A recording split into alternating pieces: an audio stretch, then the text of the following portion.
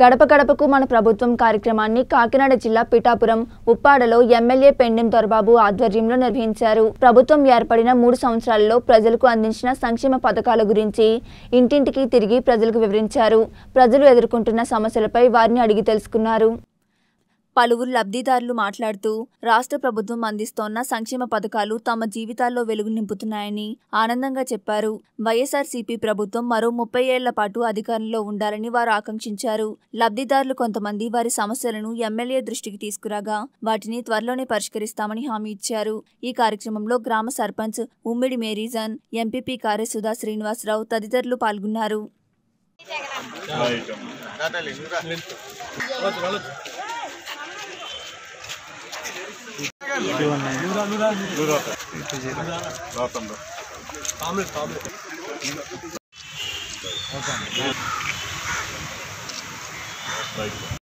జై జగనన్న.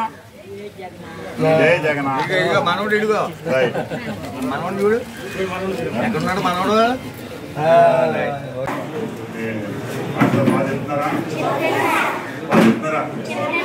చెప్పలేదా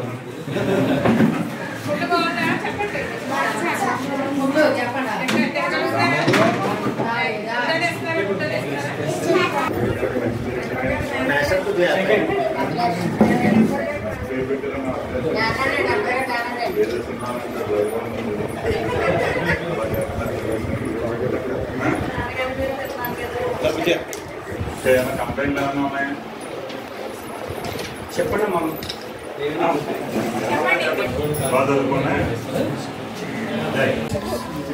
పిఠాపురం నియోజకవర్గం కొత్తపల్లి మండలం ఉప్పాడ గ్రామంలో నాయకర్ కాలనీ అలాగే అరవిందపేట ఎస్సీ గడప గడపకి మన ప్రభుత్వం కార్యక్రమంలో భాగంగా పెద్దలు స్థానిక సర్పంచ్ గారు జాని గారు అలాగే ఎంపీపీ కార్యసుధా శ్రీనివాస్ గారు అలాగే ఆనాల సుదర్శన్ గారు ఎంపీటీసీల సింగన్న గారు రాంబాబు గారు బుజ్జి గారు వార్డ్ మెంబర్లు అందరూ కలిసి ఈ రోజున గడప గడపకే మన ప్రభుత్వం కార్యక్రమంలో ప్రతి ఇంటికి వెళ్ళిన సందర్భంలో వారు చాలామంది ప్రతి ఒక్కరూ కూడా ఒకటే మాట. జగన్మోహన్ రెడ్డి గారు ఇచ్చిన పథకాలన్నీ కూడా మాకు అందుతూ ఉన్నాయి. మాకు కుళాయిలు కావాలని ఒకటి అలాగే డ్రైనేజీలు కావాలని ప్రధానమైన సమస్య డ్రైనేజీలు కుళాయిలు వాటర్ గురించి అడుగుతూ ఉన్నారు. ఆ, ట్యాంకులు వాటర్ ట్యాంకులు దాని మీద వెంటనే ప్రతి ఇంటికి కూడా నిన్ననే శంకుస్థాపన చేయడం జరిగింది. కోటి ఇరవై ఒక్క లక్ష కోటి ఇరవై ఒక్క లక్షతోటి ప్రతి ఇంటికి కుళాయి ఇచ్చే కార్యక్రమం జలజీవన మిషన్ ద్వారా చేయడం జరిగింది. అది త్వరలో రెండు మూడు నెలల్లో మీ అందరికీ కూడా ప్రతి ఇంటికి కుళాయి వేస్తున్నారు జగన్మోహన్ రెడ్డి గారు. మా నాయకుల దగ్గర నుండి చేస్తున్నారు అని చెప్పి చెప్పడం జరిగింది. అలాగే డ్రైనేజీలు.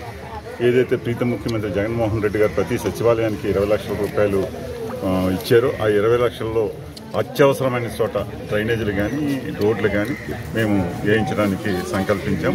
అవన్నీ కూడా నిన్న ఒక సచివాలయం పూర్తయింది. ఇది రెండో సచివాలయం ఇవాళ సగం సాయం రేపు రెండో సచివాలయం పూర్తయిన తర్వాత దాని నిమిత్తం అవసరమైన మేరకు ఈ డ్రైనేజీలు రోడ్లు కూడా మేము శంకుస్థాపన కార్యక్రమం చేసి త్వరితగతిన పనులు పూర్తి చేసి వారికి అందిస్తామని చెప్పి తెలియజేస్తా ఉన్నాం. కొంతమంది మాకు అంటే ఒక ఇంట్లో ఇద్దరం ఉంటున్నాము ఇద్దరికి రాలేదని ఇలా కొన్ని కొన్ని ఉన్నాయి. అవన్నీ కూడా నోట్ చేసుకోవడం జరిగింది.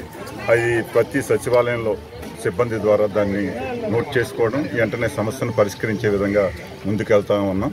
అవన్నీ కూడా నోట్ చేసుకుని మళ్ళీ సకాలంలో వారందరికీ కూడా వారి ఏదైతే అర్హత ఉండి ఎవరికైనా ఏ పథకమైనా రాకపోతే వెంటనే చేయించి బాధ్యత మేము తీసుకుని మా నాయకులను కానీ మేము కానీ వెంటనే త్వరితగతిన పూర్తి చేయడానికి సిద్ధంగా ఉన్నామని చెప్పి వారికి చెప్పడం జరిగింది.